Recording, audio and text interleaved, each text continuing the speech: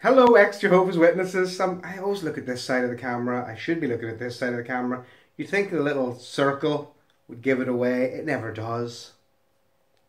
You've come to expect it now. I hope you're all doing very well. I'm still preparing for my trip to uh, to Warwick soon. I'll be down in uh, in uh, the headquarters of Jehovah's Witness Land on the uh, third, or sort of late on the third of November. I look forward to meeting all of you who are coming. It's going to be very exciting. Uh, I wanted to talk about the new changes for the Jehovah's Witnesses. I'm going to bring these in a bit closer because you feel a bit distant. Hang on. There we go. You can see my ugly mug a bit better now. Okay, so I don't know about you, but whenever I left the witnesses and you know, and I had those those end of Jehovah's Witness fantasies that many of us share, I imagined it would be a bit like that church. I've forgotten the name of it, but they they, they actually were very like the witnesses, and they ended up just admitting they were wrong and wrote uh, quite a sincere, heartfelt apology for all the harm they'd caused. And I thought at the time, wow, wouldn't that be lovely if the witnesses did that? I wouldn't go back, but at least you know it could have some closure about the whole thing, you know. Uh, and then hopefully, you know, if they're decent human beings, they'll they'll try and make amends for the harm they've caused as best as best as possible. Obviously, that's not going to happen. Disabuse yourself of that right away. But what instead seems to be happening is I've got a bit of a cold, so pardon, please forgive me if I inadvertently sniff. Uh, what it seems instead they're going to be doing is they're going to just dumb themselves down and reduce themselves to a rump of Jehovah's Witnesses. Maybe that they can, maybe they can bring on new members in African places where you know the internet's not such a big thing to destroy them or something. I'm I'm really not sure, but a lot of this is coming now from the new arrangements. So when I was a kid, and I'm not making this up, some of you I'm sure did the same thing, some of you didn't. Wicked worldly kids. I actually spent one like one large period of my summer holidays as a child looking back through the big bound volumes of the Watchtower and Awake because I wanted to read everything that we had produced. And I mean, I was looking back to those books from the you know the mid '60s. I think was I'm not sure how long they started them, but my family had them from the mid or late the the, the late '60s. And I was reading these old ones. I wanted to get a grip on our understanding and just really know everything, understand 1914 so I sat there out in the sun, flipping through these bound volumes because this was going to give me something, you know, some some education. God forbid I actually had got a good education, but uh, I was looking through this stuff, and now, I, I mean, I don't know how I feel about it. I don't know that because they're not going to be doing this anymore. They're not going to be having. I mean, they've done away with those big yearly editions of the Watchtower and Awake, but now they seem to be doing away with the Watchtower and Awake in fits and starts. It's going to become you know, this this new one episode every three months, is it? Or every two months? Every three months, I think. Which seems bizarre. I mean, you're going to get so bored. I remember sitting, you know, you know how the magazines never came week on week on week? They would come like nothing for a month, and then, whoa, you've got six issues all came. Remember that? Well, I would sit at the front of the hall while everyone else was chatting looking through my six issues, reading them all. Oh, just after the meeting had ended, you know, and everyone was talking, I was like, oh, look, new food, new stuff to read. It's so exciting. And I would read this stuff. And, and now I don't know how to feel about the kids nowadays. I mean, I can only hope that it's uh, it's yet another encouragement for them to leave because you know there's there's even less of a uh, you know stimulation of some kind of even a, even a false sense of uh, of intelligence about the organization. And I wonder why they're doing this. Okay, uh, some people have talked about money. Okay, it's it's all down to money, and they need. And I recently did the JW podcast, and that's where we came down on the issue. Pretty much money. They, they need a lot of money for all these these sexual assault charges and you know class action lawsuits that are that are springing up, and I get that.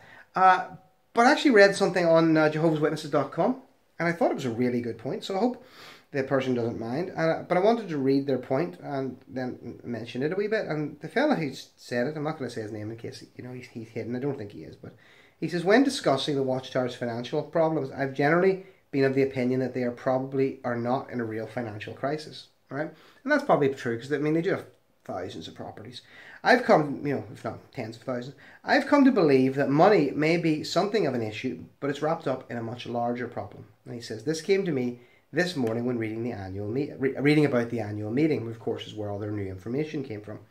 I think the society's leadership is just plain out of ideas. For a very long time, they have had some people who could churn out new stuff for publication. I remember it. You had Fred Franz, and and I don't know about you, but whenever Fred Franz died, I mean, I was still very young, but Fred Franz still had a he had a long shadow, and the people who came after him, you know, Henschel and people like that, is it Henschel, Milton, something or other? They they didn't they didn't have it, and they didn't even want it. They didn't want to take his reins as like the the face of the organisation. They were just old men content to sit in the background. But I'll, I'll go back to his point because I think it's a good one. A lot, if not all, uh, of what they taught was bullshit, but at least it was original, and that's true. I can remember everybody combing every talk, book, magazine, etc. for new light. Yes, we did. I haven't seen a new thought in ages. The literature is dumbed down and repetitive, and I think they're cutting back on magazines not to save money, but because nobody can think of anything to put in them.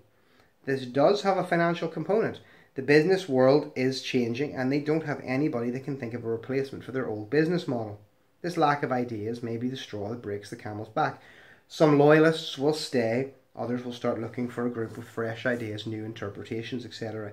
If they start poaching members to whatever new brand of BS has struck their fancy, the Watchtower Bible and Tract Society is in big trouble. The crowd will go for what's new, exciting, and a lot more entertaining. I, I, I think that's a really good point and it's something that hadn't really occurred to me, but there is a real intellectual, you know, malaise, a real loss of uh, uh of vitality about the Jehovah's Witnesses. Certainly, you know, and it's not since I left. Don't worry, it's it's since the Jehovah's Witnesses. Uh, you know, probably since since Fred Franz was an old man. You know, since Raymond Franz broke away, and I think that probably uh, you know that was the start of the slide. You know, because I think he, Raymond Franz had some Raymond Franz had some had some gusto about him. He had a bit of mustard on him, and he could have continued things. You know, if he'd have stayed in the in the governing body. Uh, obviously, he'd be dead now, though. But it seems that the people who then came on from him were just uh, more and more of the same, and, and less and less interesting. And until you've now got this this organisation, which you know what it pro- it prints a couple of magazines. What what happened to all the stuff that we were taught as kids? We were taught that the Jehovah's Witnesses are the biggest publishing organization that's ever been known. that we do, you know, we, we did so much. We were also taught, and I did bring this up in the podcast, we were also taught that the ordinary man on the street, or woman on the street, if we dare to mention you, uh, that that you could not understand the Bible.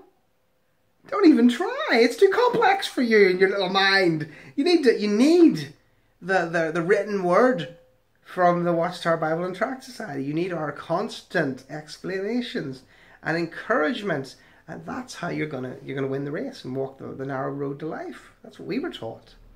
And uh, and now, well, what's the argument now? So what, your information is so vital that you don't even need to bother printing it. Seems some, you got some splaining to do. It's my best Ricky Ricardo voice.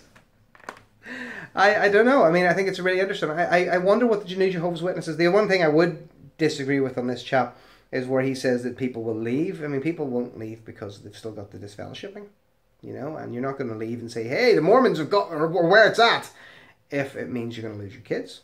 That's not happening. So, uh, I mean, you could find that you're just going to have an awful lot of very bored, very disinterested people looking at the same literature day in day out. Guys, thank you very much for watching The Great Apostate. I hope you're doing well. I, have been a bit slow doing videos.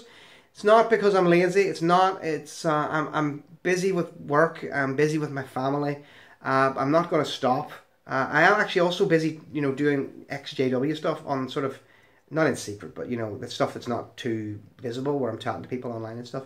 Uh, so that's taking up quite a lot of my time, and I'm also preparing for my trip to America, which is going to be like a homecoming for me because uh, as I also said in the JW podcast, my dream as a child one day was to work at the headquarters of the world religion, and uh, and um, it's almost I feel like I'm coming home.